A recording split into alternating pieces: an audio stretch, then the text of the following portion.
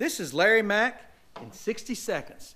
Today I'm going to talk about a wet sump oiling system versus a dry sump oiling system.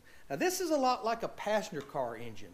A wet sump oiling system, a standard oil pan with an internal oil pump. This whole engine with filter and all maybe holds five to six quarts of oil. A cup car has a dry sump oiling system. A very small oil pan, just enough oil in the pan to keep everything in the bottom end lubricated.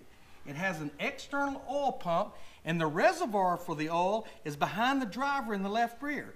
This system holds roughly four gallons of oil. What's the advantage? This crank doesn't have to turn in all that oil, just enough for lubrication. Also, in a 500 mile race, you maybe will burn three to four quarts of oil. With a wet sump, you wouldn't have no oil left. That's all there is to know about a wet sump versus a dry sump, and all in 60 seconds.